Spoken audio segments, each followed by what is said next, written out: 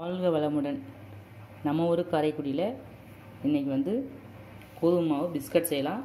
அதுக்கு தேவையான பொருள் என்னென்னு பாருங்கள் கோதுமை மாவு வந்து இந்த பவுலில் ரெண்டு ரெண்டு கப் எடுத்து வச்சுருக்கேன். இரநூறு கிராம் அளவு இருக்கும். ஒரு கப் அளவு பனங்கற்கண்டு எடுத்திருக்கேன். நெய் ரெண்டு ஸ்பூன். பேக்கிங் பவுடர் ஒரு டீஸ்பூன். ஏலக்காய் பொடி பண்ணி வச்சுருக்கேன். உப்பு எடுத்து வச்சுருக்கேன். உப்பு வந்து இனிப்பு தெரியாததுக்காக ஒரு சிட்டி அளவு போட்டால் போதும். இப்போ வந்து இதுக்கு பாதாம் முந்திரி பிஸ்தா எடுத்து வச்சுருக்கேன். இதை வந்து மிக்சியில் நைஸாக அரைச்சிக்கலாம். அரைச்சி இது கூட ஆட் பண்ணிக்கலாம். எடுத்து வச்ச பாதாம் முந்திரி பிஸ்தாவை இந்த அளவுக்கு நைஸாக அரைச்சிருக்கேன். அப்போ தான் பிஸ்கட் செய்யல. அது வந்து தெரியாது. பிஸ்கட் கூட ஒன்றா மிக்ஸ் ஆயிரும். பசங்க பாதாம் பிஸ்தாலாம் டேரெக்டாக சாப்பிட மாட்டாங்க. இந்த மாதிரி பிஸ்கட்டில் சேர்த்து கொடுத்தீங்கன்னா நல்லா சாப்பிடுவாங்க. பசங்களுக்கு ரொம்ப ஹெல்த்தியான உணவு. எல்லாம் மைதாவில் தான் செய்வாங்க பிஸ்கட்டு. கோதுமையில் செய்கிறது ரொம்ப சிறப்பு. எடுத்து வச்ச எல்லாத்தையும் ஒன்றா மிக்ஸ் பண்ணிக்கலாம். கோதுமை மாவு பனங்கற்கண்டு பொடி பண்ண பாதாம் பிஸ்தா முந்திரி பேக்கிங் பவுடர் ஏலக்காய் உப்பு ஒரு சிட்டிகை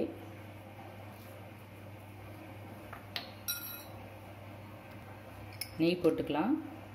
எல்லாம் ஒன்றா நல்லா மிக்ஸ் பண்ணி கோதுமை மாவு சப்பாத்தி பதத்துக்கு பிசைஞ்சிக்கலாம். தண்ணி ரொம்ப ஊற்றாமல் கொஞ்சம் கொஞ்சமாக ஊற்றி பிசைஞ்சு எடுத்துக்கலாம்.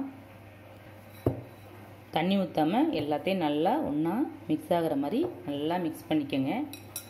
அதுக்கப்புறம் தண்ணி ஊற்றி சப்பாத்தி மாவு பதத்துக்கு பிசைஞ்சு எடுத்துக்கலாம். கோதுமை மாவு சீக்கிரம் செரிமானம் ஆயிரும். ஈவினிங் சே ஈவினிங்க்கு ஒரு ஸ்நாக்ஸ் வந்து பெஸ்ட்டாக இருக்கும். இந்த மை கோதுமை பிஸ்கட்டு. மாவு இந்த பதத்துக்கு சப்பாத்தி மாவு பதத்துக்கு பிசைஞ்சு எடுத்தாச்சு. இப்போ நல்லா உருண்டை பண்ணிக்கலாம். உருண்டை பண்ணிக்கிட்டு நம்ம பிஸ்கட் மாதிரி தேய்ச்சிட்டு பீஸ் போட்டு எடுத்துக்கலாம். இந்த சைஸு நல்லா உருண்டையாக உருட்டிக்கலாம். இந்த மாதிரி தேய்ச்சிக்கோங்க. தேய்க்கையில் ஒட்டுச்சுன்னா நெய் மேலே அப்ளை பண்ணிக்கோங்க. லைட்டாக அப்ளை பண்ணிக்கிட்டு ரொம்ப மெல்லிசாக தேய்க்க வேண்டாம். இது எல்லா பேக்கரியிலையும் பார்த்துருப்பீங்க. இந்த பிஸ்கட்டு எல்லாம் மைதாவில் செஞ்சுருப்பாங்க. இது வந்து கோதுமை மாவில் செய்கிறனால ரொம்ப ஹெல்த்தி ஃபுட்டு சீக்கிரம் செரிமானம் ஆயிரும். உடம்புக்கு ரொம்ப நல்லது கோதுமை. பாருங்கள் இந்தளவு திக் திக்னஸில் தேய்ச்சிருக்கேன். இப்போ பீஸ் போடலாம். இந்த மாதிரி கத்தி எடுத்து பீஸ் போட்டுக்கோங்க.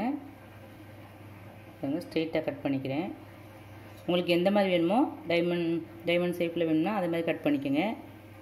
ஸ்கொயர் மாதிரி வேணும்னா ஸ்கொயர் மாதிரி கட் பண்ணிக்கோங்க. பீஸ் போட்டாச்சு. இந்த மாதிரி பிளேட்டில் எடுத்து பீஸ் போட்டதை எடுத்து எடுத்து வச்சுக்கோங்க.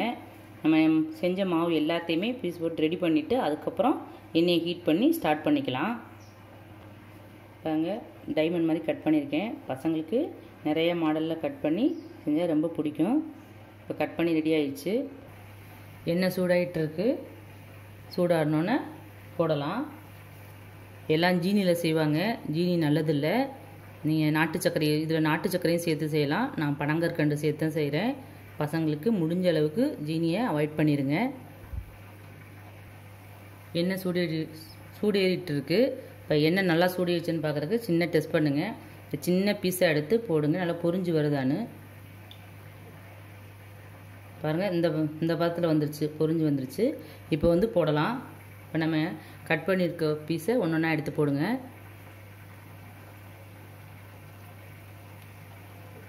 ஆயில் ஃபுட்டுன்னு நினைக்க வேண்டாம். இதில் எல்லா சத்தும் சேர்றதுனால நமக்கு வீட்டிலே செய்கிறதுனால ஹெல்த்தி ஃபுட்டும் கூட.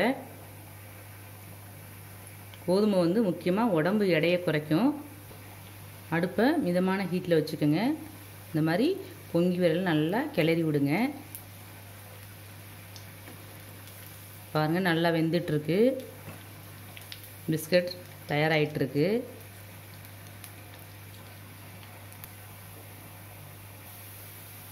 எப்படி வெந்துட்டுருக்குன்னு பாருங்கள் இந்த பதம் வந்தோடனே எடுத்துடலாம் பிஸ்கட்டை. இதை எடுத்துட்டேன்.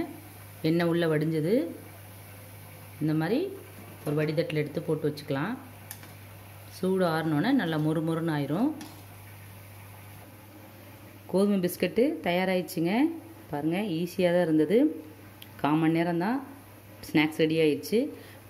என்னோடய வீடியோ பிடிச்சிருந்ததுன்னா சப்ஸ்கிரைப் பண்ணுங்கள் ஷேர் பண்ணுங்கள் லைக் பண்ணுங்கள் பெல் பட்டனை கிளிக் பண்ணுங்கள் வாழ்க வளமுடன்.